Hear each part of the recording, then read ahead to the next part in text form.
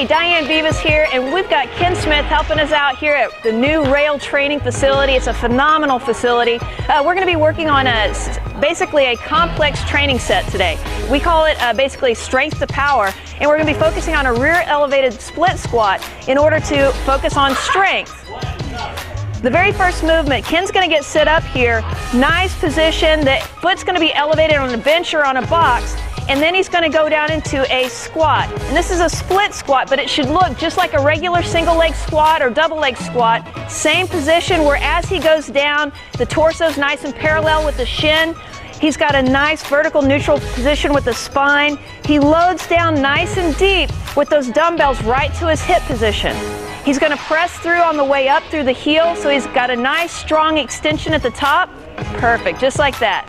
We're gonna go right from that position, that strength position, right into an explosive single leg uh, hurdle hop. So it's a hop because it's single leg to single leg on the same leg.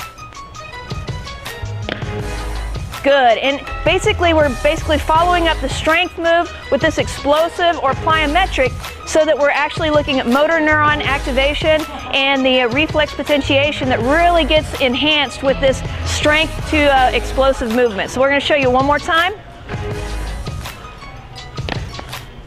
Good job, just like that. So those are two really intense movements. So we're going to choose um, an upper body movement in a different pillar of human movements so that we're getting nice active recovery but still getting a lot of great work done. So we're doing a dive bomber push-up. It loads the shoulders with a high hip position. He's going to drive his shoulders right down towards his hands. He's going to finish into a plank position and then he's going to push back and reset the hips in a high position.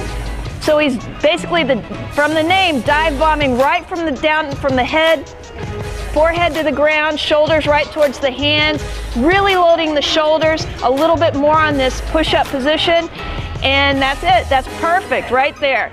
So we've got those three movements. This really helps with your power production, your force production, and we will see you next month.